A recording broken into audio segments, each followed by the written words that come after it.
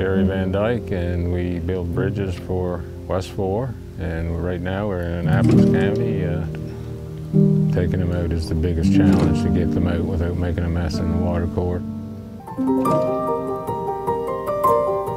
And they're heavy, of course, and sometimes they're very rotten, so it's really hard to get them out. That's the biggest challenge for us. We put a snake in the brook, so if any debris falls in there, we can collect that right at that point. Set up and uh, we get those, we get the soil compacted and place our blocks. Then the I-beams go on and welders move in the next day and do the bracing and end plates. And after that, we put the wood on top and reinstate all the ground. Then we do it all over again at another site.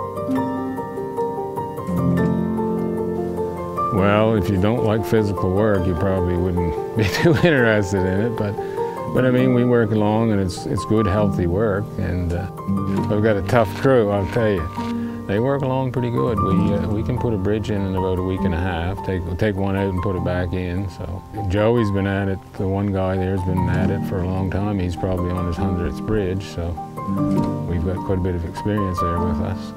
Couldn't think of a better place to work. I mean, look at my office. Yeah, we see wildlife every day. Saw a bear the other day when we were leaving, and no, it's wonderful. The mosquitoes I don't care for, but but we, got to live with that. No, I couldn't think of a better of a better situation.